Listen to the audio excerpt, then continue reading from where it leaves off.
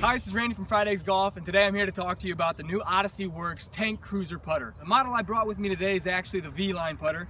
Right away, you can see the face insert here looks a little different from last year's Cruiser model. They've actually incorporated two past ideas from previous generation Odyssey putters, one being the white hot insert, which was the most winning insert of all time in a putter. Uh, they've rolled that down as a base layer for soft feel. And then over the top of that, they've actually placed the metal X insert to promote the ball to roll end over end to reduce skidding on the green. When you flip the putter over on the bottom here, you can see that there are two 15 gram weights. These are actually interchangeable. They've been kind enough to provide provide a tank field kit here.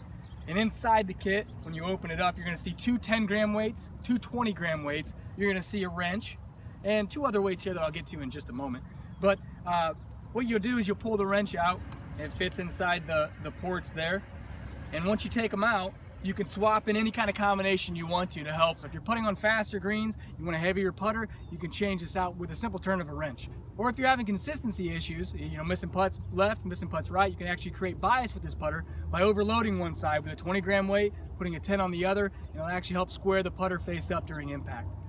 Uh, this is a super stroke grip designed specifically for Odyssey Golf, where at the end there, you can see a 15 gram weight plugged into the end of the putter.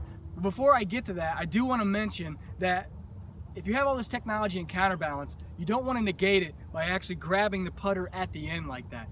So when you're working with a counterbalance putter, make sure you choke down anywhere from two to three inches from the end of the grip to actually allow a little bit of room for that technology to work. And you can customize the swing weight of this putter just by, once again, opening up your field kit here.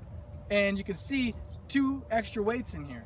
One being kind of a dummy weight. It's just a, a, a plastic resin, it's very lightweight. It's to help simulate really no weight in there at all. And then you also have 30 gram weight. Look at that thing, it's like a mortar shell.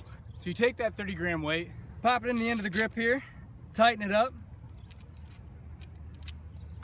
drop the wrench, pick it back up.